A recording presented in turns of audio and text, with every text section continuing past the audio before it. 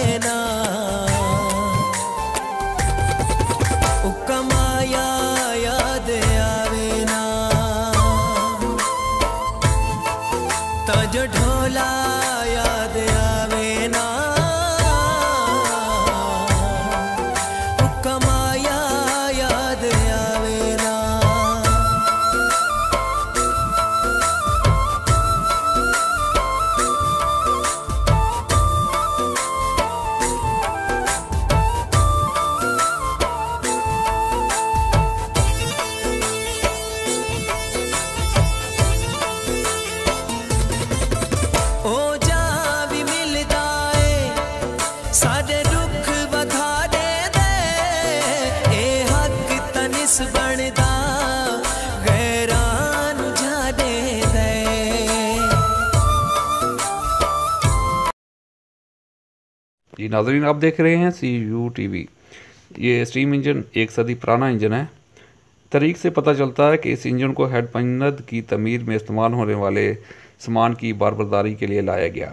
यहाँ ये बोगियों और ट्रॉली के साथ अहमदपुर शर्किया से हेड पंद के दरमियान रास्ता और शरीफ रेल की 35 किलोमीटर लंबी रेलवे लाइन बिछाई गई। हेड की तमीर उन्नीस सौ इकतीस में हुई और इस इंजन का वज़न 80 टन से ज़्यादा है। अब ये लकड़ी के फ्रेम वाली Ford woody van Nawab of Bahawalpur sir Sadiq Mohammad Khan Abbasi के ज़ाती इस्तेमाल में थी। सर सादक मोहम्मद खान अब्बासी अपनी गाड़ियाँ खुद मंतखब करते थे, उनकी देखभाल पर खसूसी तवज्जो देते थे। ये गाड़ी 1930-1935 के दरमियान तैयार की गई। लकड़ी के फ्रेम से बनी अपनी नोयत की ये मनफरद कार रियासत अमेरिका में बहुत पसंद की जाती थी।